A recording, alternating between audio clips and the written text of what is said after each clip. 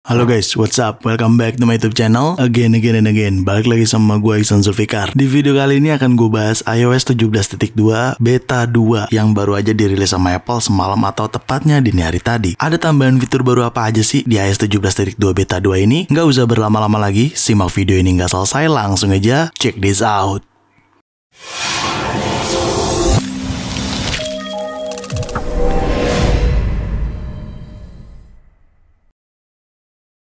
Semalam atau tepatnya dini hari tadi Apple resmi merilis iOS 17.2 beta 2. Tetapi tidak hanya itu aja yang dirilis sama Apple, adanya iPad OS 17.2 beta 2, WatchOS 10.2 beta 2, macOS Sonoma 14.2 beta 2, tvOS 17.2 beta 2 dan HomePod OS 17.2 beta 2. Ya itu tadi adalah jajaran operating system Apple secara beta yang dirilis sama Apple. Disclaimer dulu nih, ini masih versi beta ya atau versi uji coba. Jadi kalau misalkan teman-teman ada yang nanya, Bang, kok gue belum 17.2 ya? Ya karena ini masih iOS percobaan alias iOS beta Bukan iOS yang dirilis ke publik Atau iOS yang biasa kalian gunakan Itu berbeda ya gitu. Oke pertama-tama gue mau informasin dulu Gue menggunakan iPhone XR lagi. Kalau di beta 1 video sebelumnya Itu gue menggunakan iPhone 14 Pro. Nggak apa-apa Yang penting terkait iOS 17.2 beta 2 nya Oke? Pertama-tama yaitu build number yang ada pada iOS 17.2 beta 2 Khususnya di iPhone XR Seperti biasa kita pergi ke setting Lalu kita pergi ke general dan kita pergi ke about. Nah, di sini kalian tinggal pilih yang iOS version ya. Ya, ini dia adalah build number yang ada pada iOS 17.2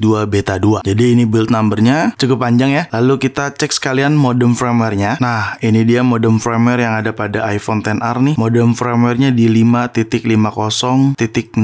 Kelihatan ya, kecil sih ya, tapi semoga kelihatan lah. Ya, selanjutnya kita bahas size update ya. Size update yang ada pada iPhone XR gua ini size update-nya untuk iOS 17.2 beta 2 di 551,4 MB. Ya, cukup besar ya. Tapi kalau untuk size update tergantung iPhone-nya. Jadi pastinya size-nya akan beda-beda setiap iPhone yang kalian gunakan kalau kalian menggunakan versi beta. Kayak gitu. Oke, fitur yang pertama yaitu fitur yang sayangnya gue nggak bisa mendemonstrasikan di iPhone XR ini. Karena fitur tersebut tidak kebagian untuk iPhone XR. Ya, mohon maaf lah ya kalau buat pengguna iPhone di luar iPhone 15 Pro Series. Fiturnya itu adalah video capture spesial video untuk Apple Vision Pro. Nah, fitur itu harusnya ada di bagian setting, lalu ke bagian kamera, lalu kalian pergi ke format. Nah, di sini tidak ada pilihannya, harusnya adanya seperti pada gambar di sini ya. Seperti itu ada pilihannya dan tentunya ada keterangan di mana video tersebut bisa merecord di 30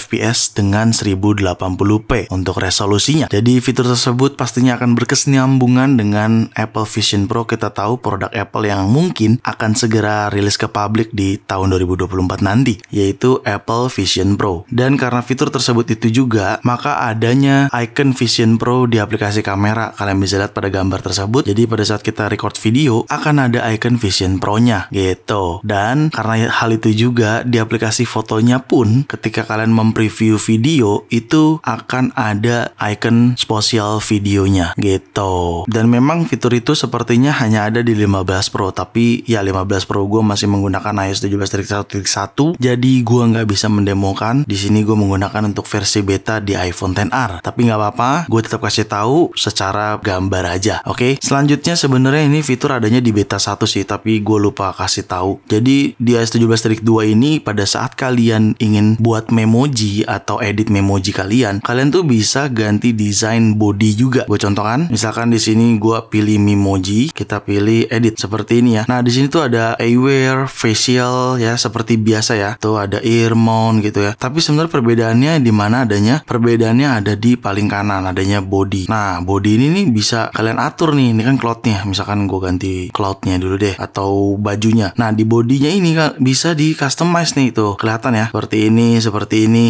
kayak gini tuh ya kan. Nah, tuh sesuai keperluan temen-temen tuh. Kalian lebih sukanya desain yang seperti apa kira-kira. Jadi intinya ada customize body pada Memoji di iOS 17.2 gitu. Selanjutnya fitur coverage atau informasi warranty iPhone kalian itu sudah dipindahkan posisi. Jadi kalau di bagian setting setting, kalian tinggal pilih yang general langsung. Nah, langsung ada coverage. Karena coverage ini tadinya adanya di dalam about. Sekarang sudah enggak, coverage ini ada di dalam general saja, tidak di dalam about gitu. Jadi, ya, ini adalah informasi untuk warranty, lebih tepatnya untuk warranty iPhone kalian. Selanjutnya, fitur Siri juga sudah bisa kalian gunakan untuk mendeteksi ketinggian kalian ya. Seperti pada gambar ini, kayak gitu. Gue nggak bisa nyobain di iPhone XR ini karena ini ada kendala sedikit sepertinya pada iPhone XR-nya terkait hardware-nya. Jadi ya, gue kasih tahu gambarnya aja, oke? Okay?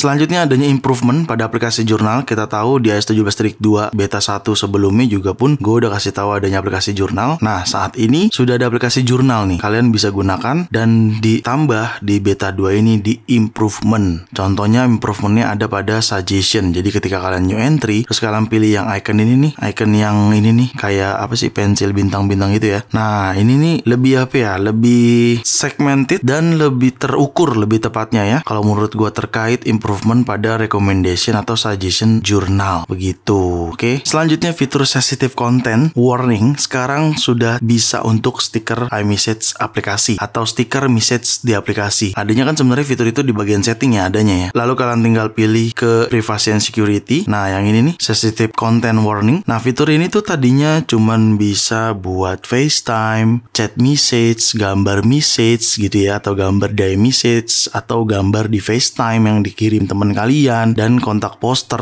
serta airdrop. Nah, saat ini tambahannya juga adanya stiker. Jadi kalau ada stiker-stiker yang bisa dikatakan terlalu vulgar akan langsung kayak keblur gitu gambarnya gitu. Seperti ini contohnya di gambar nih kontak poster juga seperti itu gambarnya ya kan kayak keblur gitu. Sensitive konten. Ya intinya lebih untuk ya biar nggak terlalu vulgar lah seperti itu. Selanjutnya di aplikasi Apple Music tuh kalian bisa edit album art pada playlist kalian. Contohnya nih gue ada playlist dari Taylor Swift yang baru aja gue tambahkan. Nah ini di sini kalian tinggal pilih menu sudut kanan atas seperti ini. Nah lalu kalian pilih edit. Ya ini dia album artnya bisa kalian ganti sesuai kesukaan kalian ya. Tuh oke okay. misalkan gue ganti ini deh. Udah deh keganti album art pada playlist kalian seperti itu. Selanjutnya adanya improvement pada widget weather dan widget clock. Ya ini udah gue jelasin juga di beta 1. Jadi di beta 2 ini cuman improvement aja terkait widget weather ya ditambah dengan widget clock ini nih gitu. Oke, jadi hanya improvement aja dan tentunya perbaikan juga sih. Selanjutnya adalah release note yang ada pada iOS 17.2 beta 2 overview-nya seperti ini dan of course perbaikan pada AirDrop no issue ya dan Apple Music, AF Kit, new fitur terkait iMessage contact key verification, resolve issue gitu ya. Karena masih beta jadi pastinya banyak perbaikan dan ini adalah release note atau documentation yang yang ada pada S17.2 beta 2 ini. Gitu cuy. Oke, selanjutnya untuk performance sejauh ini baik-baik aja di iPhone XR tapi ya gua nggak berharap lebih karena ini adalah versi beta, pastinya nggak terlalu stabil sudah pasti dan ada bug sudah pasti. Namanya juga versi beta ya. Tapi tadi udah gue tes main Mobile Legends sih baik-baik aja sih, aman-aman aja. Cuman rasanya kalau ngomongin performance nggak afdol nih kalau kita nggak benchmark sekalian. Di sini gue akan menggunakan Geekbench 6. Kalian bisa lihat iPhone 10R, i17 12.2 CPU-nya atau prosesornya Apple A12 Bionic di 2,49 GHz dan RAM memorinya 277 GB. Langsung aja CPU benchmark dan run CPU benchmarknya. Oke, sedang benchmark kita tungguin aja prosesnya. Oke, udah selesai ini benchmarknya. Untuk single score-nya di 1284